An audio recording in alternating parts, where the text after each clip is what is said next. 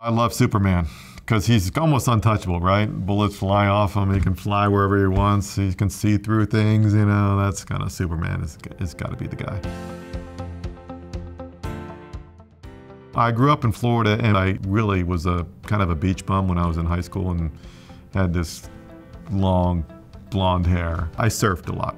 So I was a surfer, and I still like to surf. And I, whenever I can, I sneak off to Virginia Beach, and when the weather's right, and still have a board, and I'll surf. I teach financial statement analysis, which is a course that really trains people on how to use accounting information in a way that maps into security prices. Accounting, if you think of it as not, not the green eye shades and debits and credits and you know just how do you do a transaction or write a journal entry, it's really not that. It's about how do you convey information that's useful to somebody who's making a decision about an entity. The people I grew up with still are surprised at what I'm doing now. Like you?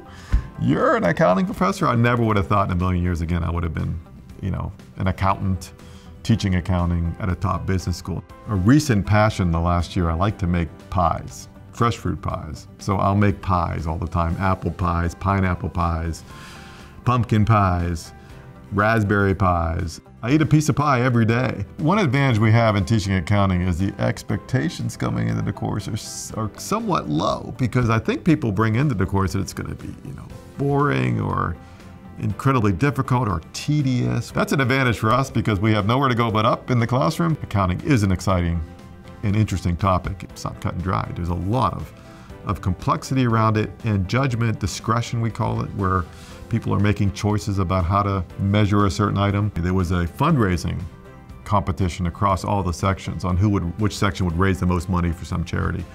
And so I was approached that if that section I was in raised the most money, would I dress up and teach in 70s garb? And so they raised the most money. So I bought a, a 70s style jacket, big fat tie, I put on a wig, I had bell bottom jeans, they put on Saturday Night Fever, and I came in and walked into the classroom and taught the entire class, and it was a lot of fun. This place lives and breathes the mission of the school, which is really to be excellent and have, have uh, transformational learning experiences, to do cutting edge research, and then also to influence directly practice. So those kind of three pillars. This place expects you to kind of excel in all three, but it also embraces all three in a way that other schools just don't. And that's what I value the most about being here.